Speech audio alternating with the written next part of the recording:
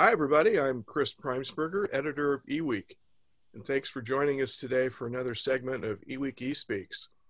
And my guest this morning is Zeus Kerravala. Zeus is one of our regular writers at eWeek, has his own uh, consulting firm, ZK Research, and uh, he's known as one of the best networking and chip analysts around. And Zeus, welcome again to eWeek eSpeaks. Yeah, thanks, Chris. I always like doing these with you. So. Well, it's it's kind of fun. It's easier than writing everything. I can just talk. It's kind of fun. Yeah. So we had a big news item that happened yesterday, and yesterday was uh, September 13th. I'm going to mention that because it'll be a important day, I think, in the history of um, of IT, especially the chip industry. So, uh, Zeus, you helped break the news yesterday. Tell us about uh, the fact that NVIDIA has now bought ARM and what that means. Yeah, this is a pretty interesting acquisition, right? So yesterday, as you mentioned, uh, NVIDIA announced that it was buying uh, ARM uh, from SoftBank for about $40 billion, which is about 8 billion more than what SoftBank paid for it back in 2016. One of well, actually one of the fascinating things about this, Chris, is that in 2016, when SoftBank, right, just four years ago, when SoftBank took ARM private, uh, they paid 32 billion for it, and at the time, Nvidia's market cap was only 30 billion. And you know, today, four years later, Nvidia's market cap's a little over 300 billion. So they've grown 10x in that period of time. And I think what that does, it really underscores how important the GPU is uh, to to our life today. And for you know, for those watching this that don't really understand the difference between CPUs and GPUs, CPUs are really good at single-threaded processes. Open, you know, booting a computer, or running Word, things like that. When GPUs do well, are things that require parallel processes, processing. So they were great for video, for graphics cards, which is why they're big with gamers. But it just so happened the same kind of processing capabilities needed for artificial intelligence and other types of accelerated computing like ray tracing and self-driving cars. And so today, it's you find NVIDIA GPUs in an Alexas and, and Cisco Spark boards or WebEx boards. You yeah. find them you, you find them in self-driving cars or you know that you find them everywhere today. They, yeah, you know, in other words, in other words, the more complicated the application, the more it needs a GPU. It sounds like. Yes, that that that is true. The well, yeah, the more for those complex workloads that require accelerated computing. You know, it's used to, it's being used now for uh, doing an R&D on COVID testing. It's being used to map the human genome and things like that. So it's become a very, very important part of our lives. Now, you can't run a computer on GPUs alone. You still need a CPU in there to perform a lot of the other tasks. And so you wind up finding a lot of CPUs and GPUs. And that was, I think, much of the thinking uh, behind this acquisition, acquisition for NVIDIA.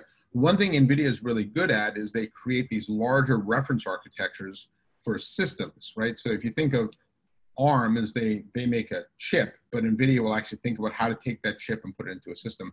And that's one of the reasons why NVIDIA has been so successful as a GPU manufacturer versus AMD or some of the other competitors out there, is they don't think at a chip level, even though they make chips, they think at a system level.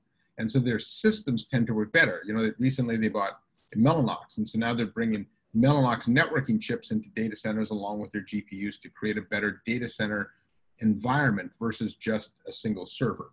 Mm-hmm. I think with ARM, what that gives them the capability to do is now take ARM CPUs and put them in a lot of places uh, that they've never been before. So if you don't understand, for people that don't, don't understand the difference between ARM and say like an Intel CPU, is Intel makes CPUs that are these plug and play devices that you plug into a socket on a motherboard and then the manufacturer of the server or the operating system will actually optimize the software to run on that processor.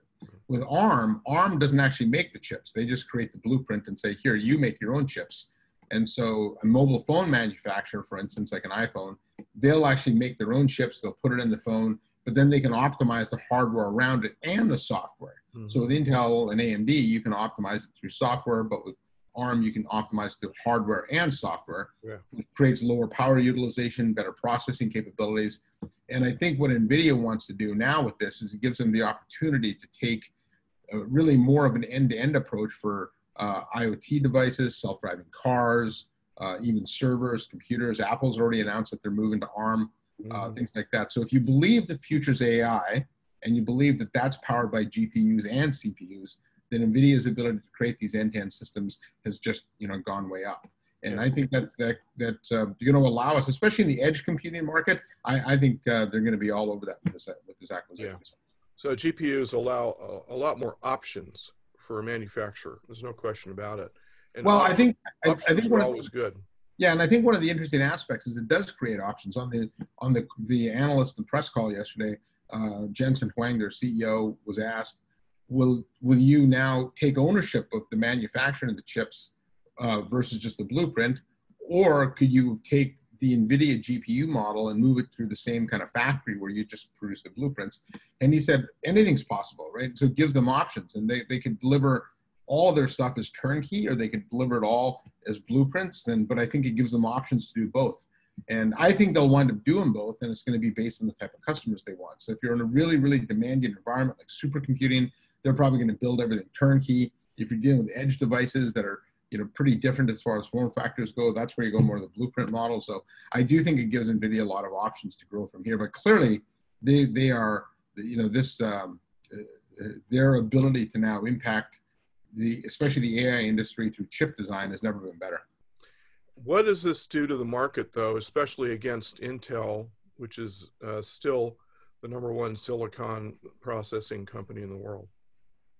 Um, to, to, to, well, I think the Intel, it's uh, um, um, you, we call them the number one processing company. By market cap, they're not.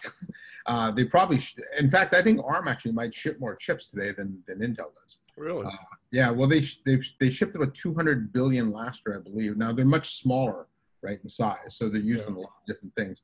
But I think the, you know Intel Intel is really Intel. They haven't really changed a lot in the last 30, 40 years. They they have never made a good GPU. Uh, they don't have they have never made a good embedded processor. Why uh, is that? Why why do you think that is? Why couldn't they, with all their power and might and market influence, make a GPU to be competitive? I don't I don't know. I've wondered that myself and I've tried to figure that out. It, it seems like the high end of the Intel GPU line always winds up being the low end of the NVIDIA GPU line. And I think Intel for a long time tried to make a, a, a combined CPU GPU, which those two things never, it's hard to make a combined one. And so they never really broke out of that mentality.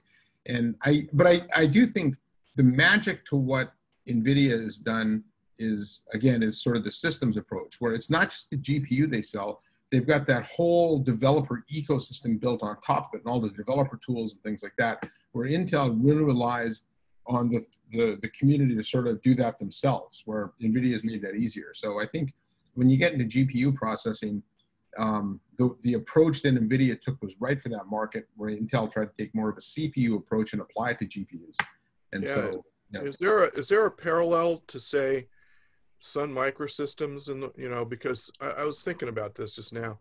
Sun was number one in the word, you know, in the desktop pros, uh, desktop computer and uh, in the in the in, in the server business, and it just got stuck. It just had a mentality where it was stuck. The cash cow was, you know, the um, uh, the process, you know, the processors and the computers they made, but they didn't change and uh, uh, fast enough, and then Linux came along and upended them, and they're out of business now. And they were subsumed by Oracle ten years ago. I'm just wondering if that's what Intel is going through, kind of the same thing. Well, it is, and and look, Chris, Intel is not the first company to go through this. No. Right, this whole concept of innovator's dilemma. You know, right. IBM was the compute leader in the mainframe area, but then Wintel wound up being that in the right. PC era, and now uh, and really into the mobile era, and NVIDIA has now become that in the AI era, right? So we always see this shift in you know in power, and you know Dell was the leader in computing when computing was on prem, but then when it went to the cloud, that became Amazon. There's nothing that stopped any of these companies with all those resources from becoming the next thing, right. except for Oh, an unwillingness to disrupt themselves. And I, Le- I leadership, vision, yeah, yeah. Well, it's the unwillingness to disrupt themselves. If you see something coming, um, and that and that's why I sort of like the, the, the NVIDIA approach. Jensen has instilled a culture of that company that's very very customer centric. They always do what's best for the cu- customer. They throw out a lot of skunkworks projects that, that don't manifest into anything, but they take a lot of customer feedback seriously as to how to build their products. And I think that this acquisition, I think, was largely driven by that. I think people have been asking them to, to you know, to have their own CPU for a while, or at least their own ARM-based processor. They could have licensed it themselves, right, and built their own, but they just chose to buy the company because I think that's a that you know that that fits their model a little bit better. All right. Well, Zeus, that's a great uh, overview. I appreciate that and your analysis on this. Uh, and uh, the stories in eweek.com if you want to see a lot more detail about it. Uh, and we'll be following this obviously very closely as time goes on. It's a it's a real stake in the ground, a real um, real milestone in the business. I think. Yeah, I think it's going to shake the industry up. I think that I think from here forward, I think uh, you know it, what this does. Is it allows NVIDIA to now take their GPUs to, to the ARM-based audience, and that could expand the addressable market of where we see AI, AI huge. I, I'm a firm believer that AI is the biggest sort of technology that's come along since the birth of computing, and we're going to see AI built into everything, right? Uh, anything that's going to process, we're going to see it uh, do some sort of AI. Yeah, AI is getting everywhere, but it's got a yeah. long way to go, and there's still a lot more use cases out there for it. So, Zeus Kerravala, thank you very, very much for coming on eSpeaks, and I appreciate your insight into all this. Thank you. And for everybody following along today, thank you very much, and have a great rest of your eWeek. Thanks for joining us on eWeek eSpeaks. Go to eweek.com to hear more conversations with IT thought leaders.